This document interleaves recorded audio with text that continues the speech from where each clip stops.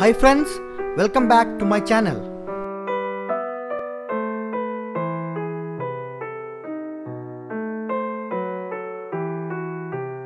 In this video, I will give you a tour of the International Tennis Hall of Fame located in the city of Newport, Rhode Island. This former Newport casino includes a museum, grass tennis courts, an indoor tennis facility and a court tennis facility. The Hall of Fame and museum are located in the Newport Casino, which was commissioned in 1879 by James Gordon Bennett Jr. as part of an exclusive resort for wealthy Newport summer residents. The United States Lawn Tennis Association held its first championships at the Newport Casino in 1881. Well, after a little bit of history, let's begin the tour. Museum entrance fee is $16 for adults.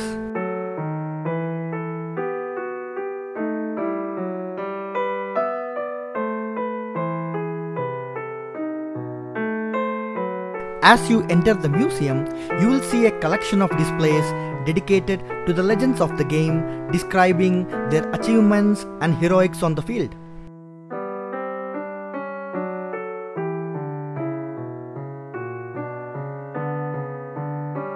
It was impossible for me to read through all the displays in the short time I had. However, I made sure that I read through the details of some of my favorite tennis players. The organization of the museum is in such a way so as to give a narrative of tennis history from its origins through present day. It is split into three areas the birth of tennis, the popular game, and the open era.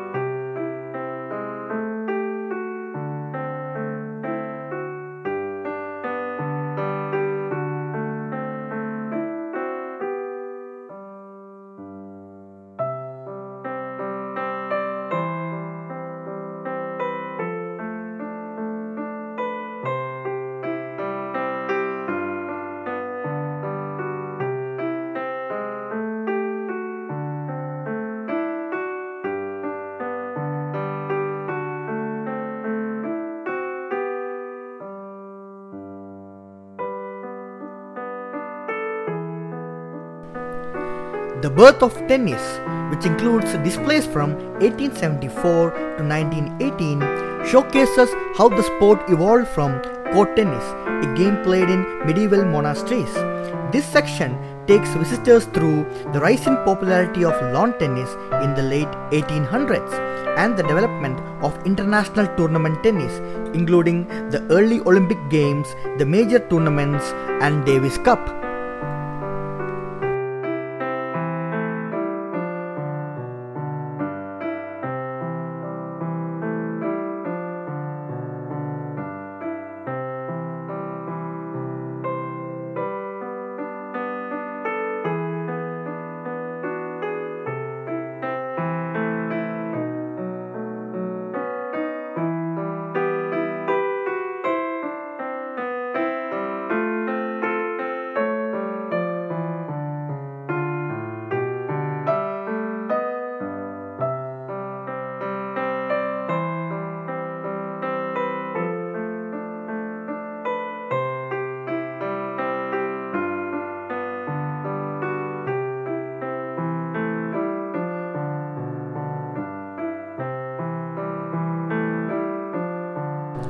The popular game, which includes displays from 1918 to 1968, highlights how interest in the sport continued to soar throughout the 20th century and how tennis became more and more intertwined in popular culture outside of sports, including in fashion, technology, media, and decorative arts, all of which fueled its rise to becoming one of the world's most appealing and recognizable games.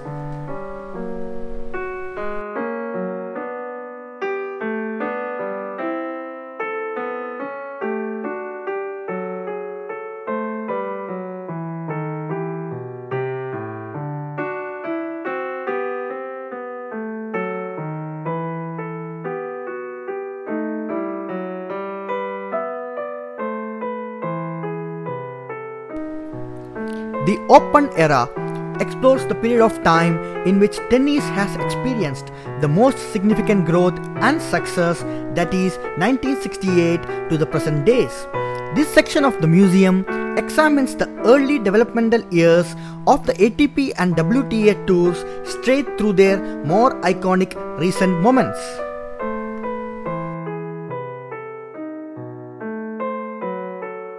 If you are like me and is a big Roger Federer fan, this is the best place to see up close his Wimbledon kit from the iconic 2009 final against Andy Roddick.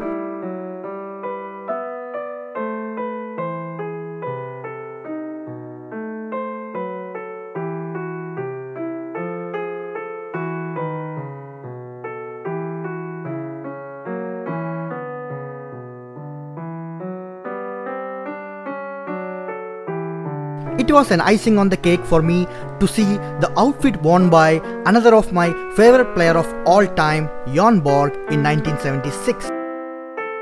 Next, I will show you the best part of the museum experience, which is the 3D hologram of Roger Federer.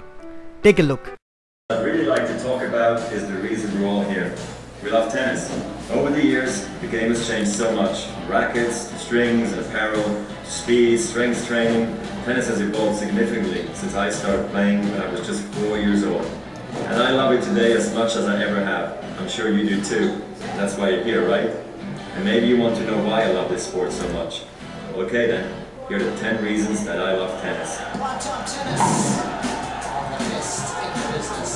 Reason number one, you get to hit the tennis ball. You get to hit it hard, with pace and rhythm. You can be creative. It's such a great stress reliever. So even if you can't do this, There's a gem from the genius Roger Federer. or this, It's a dream backhand that finds the line. or even this, The absolute brilliance of Roger Federer on display again. at some point, you probably hit a perfect forehand, blasted an ace down the tee, or punched a winning volley into the open court. That feeling when you hit that perfect shot is the reason we all play, right? No matter how many tournaments I win, I get a thrill every time that happens. Which brings me to reason number two, the zone. Sometimes when you're playing, even without realizing it, you find yourself in that zone. You're not thinking, you just flow from one shot into the next, reacting quickly and decisively. And you don't have to be number one in the world to experience it. Reason number three, tennis is such a beautiful sport. Tennis players have some of the greatest footwork in the world and they move incredibly well on the court. While your arm swings the racket, the most important parts of your body are your feet. It sounds like a dance. I don't have the fastest serve in the game, or the most powerful ground strokes, unfortunately. I hit the ball with the most topspin, And and I'm far from the biggest guy on the tour. Good to have. but I still managed to move very fast. It's not just about getting to the ball, it's getting there early and with the proper balance to make the shot you want. Shot making leads me to reason number four. Tennis is unbelievably creative. One of the things I enjoy so much about competing against the greatest players in the world is the challenge to come up with the shots that get them off balance. Just like they're trying to do to me actually. The results are the kinds of shots that make the crowds go crazy.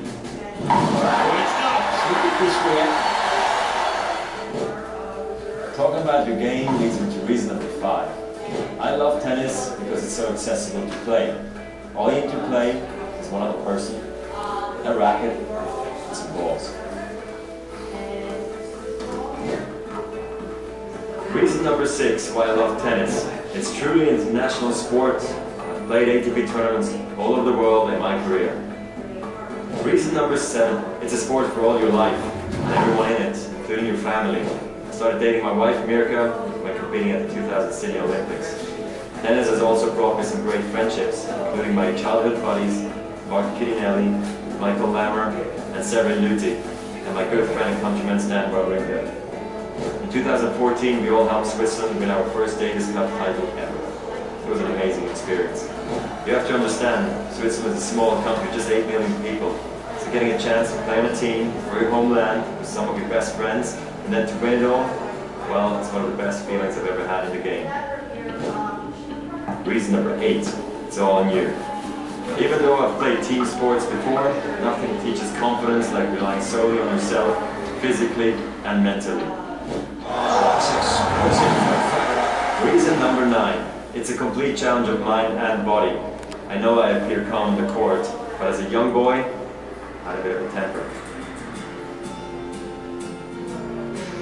Yeah, I've used uh, more than a few of these. Eventually I learned to channel my negative energy into a positive focus and confidence. I worked hard, very hard actually, and when I was 17, I won the Wimbledon Junior Singles and Doubles titles.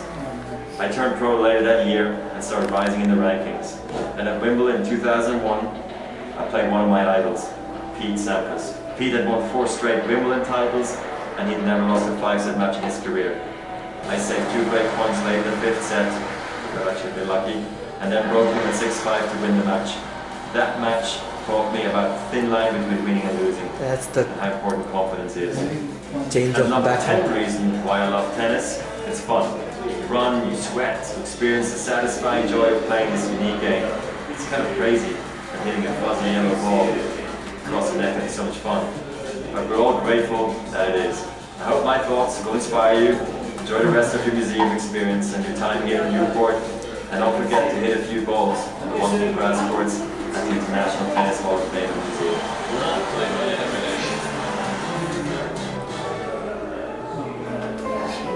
Good man.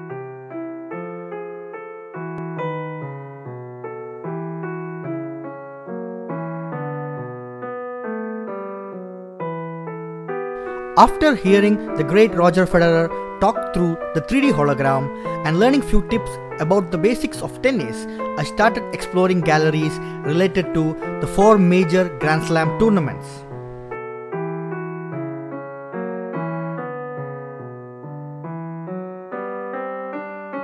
Not surprisingly, most of the displays in these galleries were focused on champions of the Open era. Most importantly, the big four of last 15 years Roger Federer, Rafael Nadal, Novak Djokovic, and Andy Murray.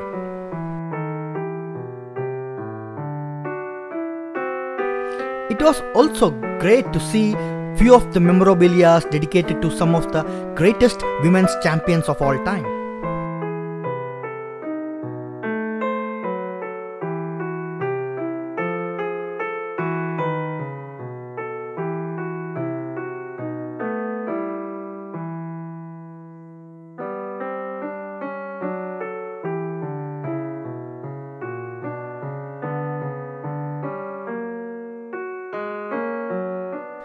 Personally, I was very happy and excited to see displays dedicated to two of the greatest men's doubles champions in the history of Grand Slam tennis, Leander Paes and Mahesh Bhupathi, from India, my home country.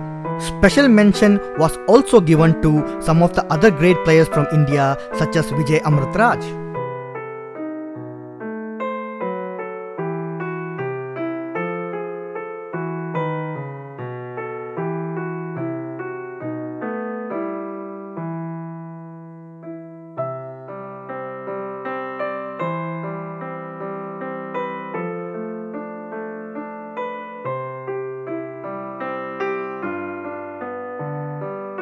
If you are really interested in the history of tennis, you can spend hours admiring and exploring the different galleries in the museum.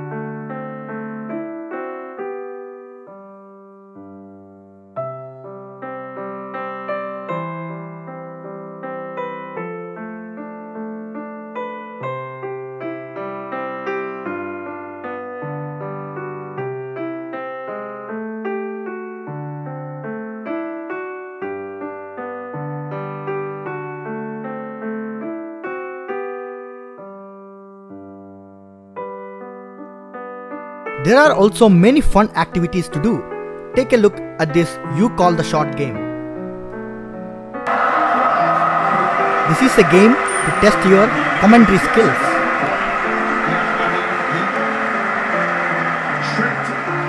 He's tricked Sir Djokovic, and he completely surprised him. Look at completely was moving the wrong way, but he still was able to get the ball back. I mean, again, He's probably the only guy, maybe one or two others could even put his racket on there. Shotgun pitch.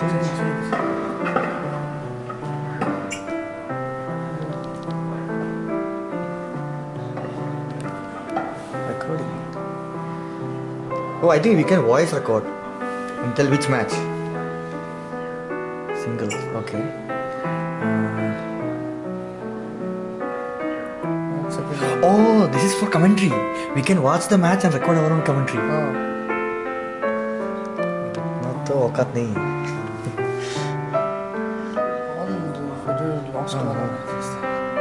can give better commentary for that, I think.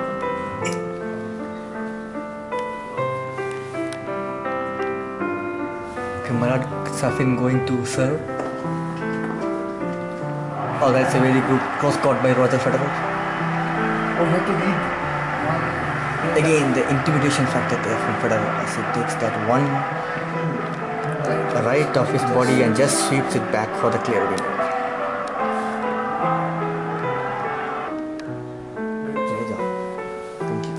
Thank you.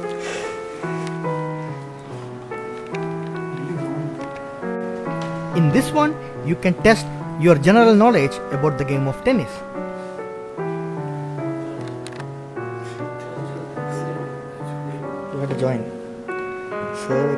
Question, social impact.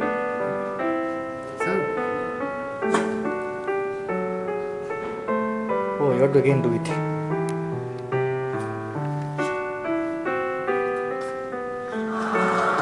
How come I did not even get chance to defend myself?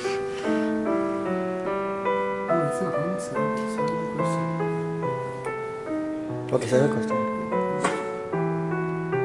Okay, I have to answer this. This Russian tennis star co-starred in the music video with Latin pop sensation. सबसे खूबसूरत जो है वही होगा अन्ना कोर्निकोवा Oh man, I won.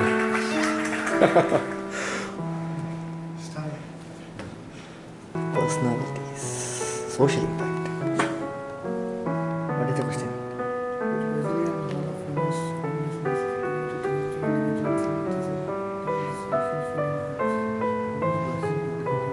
He's a good man.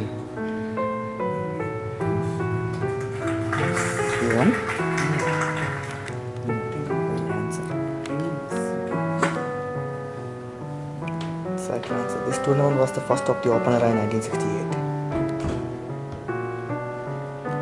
Hmm. Wimbledon, hopefully.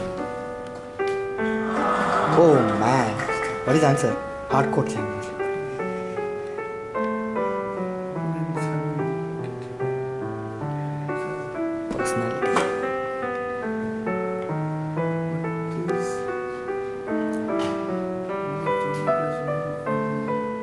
Phrases. So I think I would have answered it.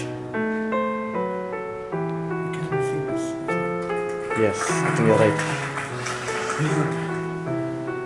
Sir. Technology. Oh man. What animal does Wimbledon employ to keep pigeons off the ground? कुत्ता होगा क्या Oh, at least time limit also. No animal, but just the ball kids. Oh no. Oh, Rufus the hawk. Oh, there is a hawk in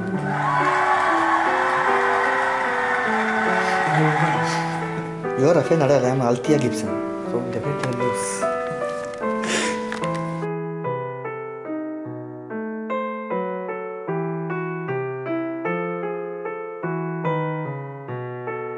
After spending more than an hour inside the museum, now it was time to explore the different courts.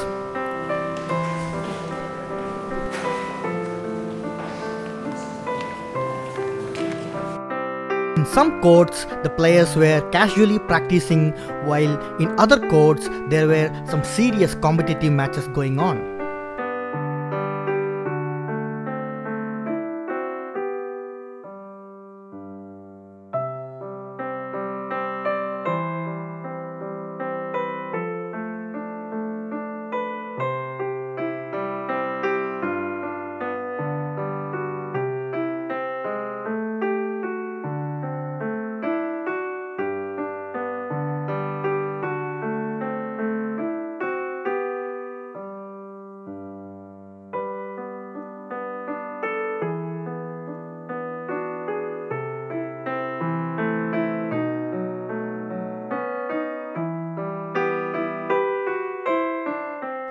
Looking at these tennis courts reminded me of my younger days when I used to attempt to learn basic skills of tennis.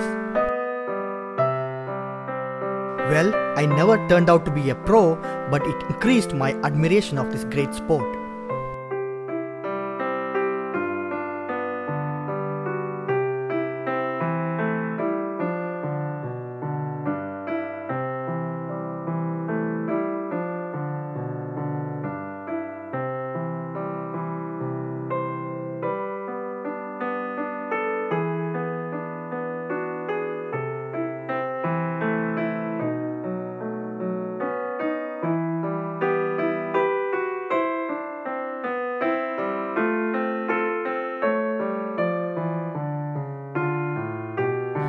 Spent about 30 minutes walking around the courts.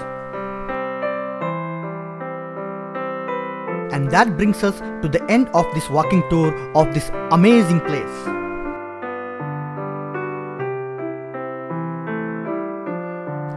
If you enjoyed this video, please don't forget to like and share the video and subscribe to my channel, Live to Travel.